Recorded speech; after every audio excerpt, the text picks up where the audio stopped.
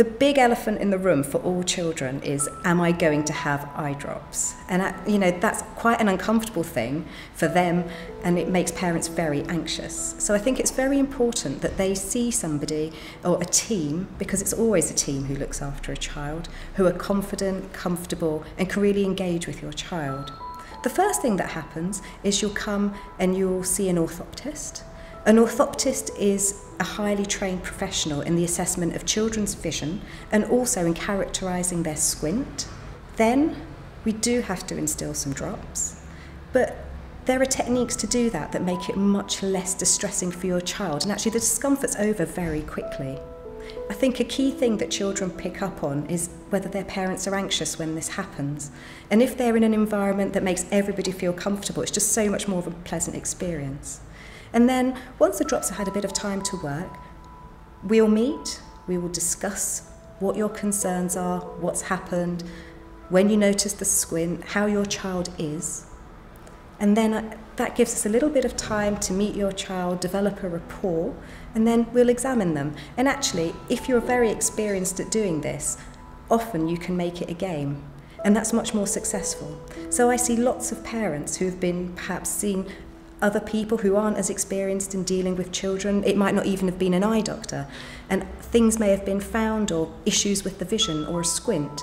And actually the child comes in and in a much more relaxed environment, they can perform in a much more confident way and things are much better than you first envisaged. Other times we might need to start some treatment and that's usually very straightforward. So the first thing we think about is when your child has a squint is does your child need to wear some glasses? And for some children that's all the treatment they might need. The glasses may relax the eyes out and, and support the, develop, the visual development of your child. For other children, that may not be quite enough in itself or it may not even be necessary. And then it's a question of discussing in a calm environment, somewhere that you feel confident and, and secure about where we go from here and the treatment options. So sometimes that might involve surgery. And again, I, one thing that I've found is that parents feel much more anxious about agreeing or deciding about a surgery for their child than they would for themselves. Because people, it's a big responsibility to your child and you don't want them in the future to come back and say, why did you do this? So it's really important that we discuss the options and that parents feel confident and comfortable. But actually, for the vast majority of people, the surgery is very straightforward undertaking. Um, although I think it's very important that you see somebody who's very experienced and confident in, in the management of it. In, kind, in terms of the technical aspects of the surgery, it is done under a general anaesthetic, but it's a short anaesthetic. It usually takes about an hour. And the vast majority of children, particularly those that are very young, have no recollection of it.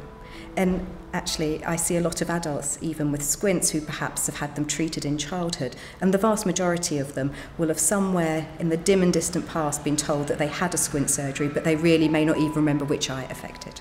One thing I do look forward to, particularly, is seeing children that have had squint surgery coming for their follow up. Most of the time, the children are completely unfazed and walk in and don't even really know anything very much has happened to them. However, for parents, it's a completely different story, and you can see the relief is evident on people's faces that they have done something that's maybe taken them a little while to work up to. Um, and the vast majority of people say how well the eyes settled after surgery, that their child really wasn't bothered beyond the initial day or two afterwards. For most parents, the biggest issue is having to instill some drops after surgery, But again, there are tips and tricks that we can tell people, and we try and get children off drops as quickly as possible. As I say, most children don't realise that they have a problem. Usually their vision's very good.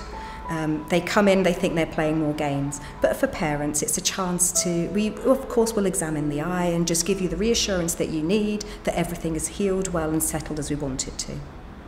In the longer term, we often do keep your child under follow-up for a period of time because it's important to make sure that their vision develops as we would like.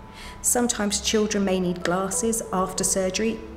The aim of surgery is not usually to get rid of glasses if that's what your child was wearing beforehand, but it's important that we keep the child in a correct prescription, really just to support their visual growth and development. So if you have been told that somebody suspects your child has a squint, perhaps it's been pointed out by family members, perhaps you've noticed it, perhaps it's been something picked up at school or in an eye test, and you'd like to have that checked, then we're very happy to see you. As I say, the treatment is very individualised. It depends on the child, the family, and particularly the type of squint that your child has. But the vast majority of cases are very amenable to treatment, and we'd very much like to see you.